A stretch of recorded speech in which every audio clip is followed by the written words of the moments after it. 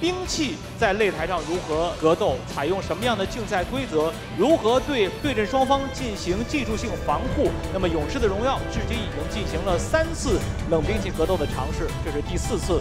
好，我们看到两位都带了两套兵器，是因为有可能在赛场上会出现断剑的可能。胸部。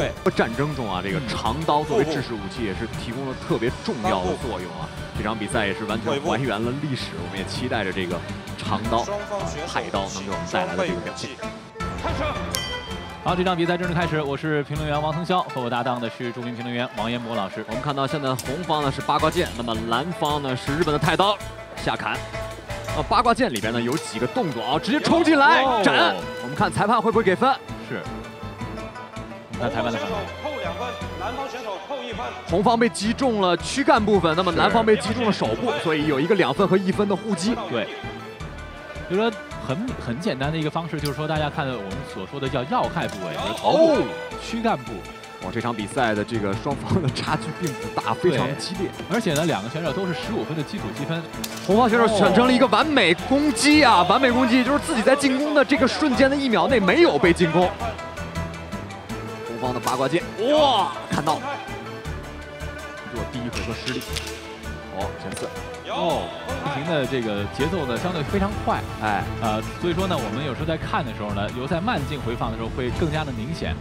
呃，刚才其实王一博老师也跟大家来普及了简单的一个积分的规则，这里面呢有多种的方式，就是扣分和加分它是并行的。没错，这个也是我们第一次的尝试啊，嗯，更真实的方式。包括昨天我和王一博老师还专门试了一下两位选手的这个手上的武器，是非常有非常重的，嗯。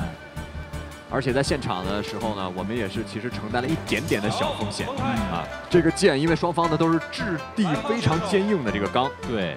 在对砍的时候，非常容易把剑打断。力量到了之后，剑是有可能会断的。是的，而且呢，其实呢，如果说呢，到时候各位看这个慢镜回放，或者是在看现场照片的话，有可能会看到兵器之间碰撞的火花。我们看到都是允许运用的，但不会被计分。是，如果你选择用自己的兵器对在这些当身技的过程中对对方进行刺杀，是可以被加分。对。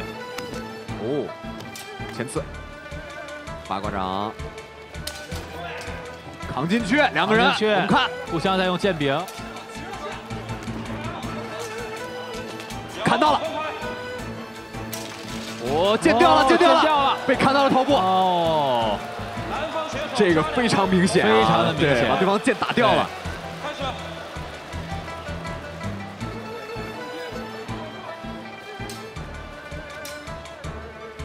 双方是允许用剑柄去对砍的，我们这赛前也好，双方又进入缠斗。观众朋友们，这场比赛呢是一场我们的试验，也是勇士荣耀首次出现这个钢剑对攻的这样的一个情况。那么规则呢，相对是有一点点复杂的。我个人是完全喜欢这样的比赛再次出现，更加还原了我们在传统兵器当中实战格斗的这样一个场景。是可能不像大家平时看到的影视剧当中的状态，但是更加的真实。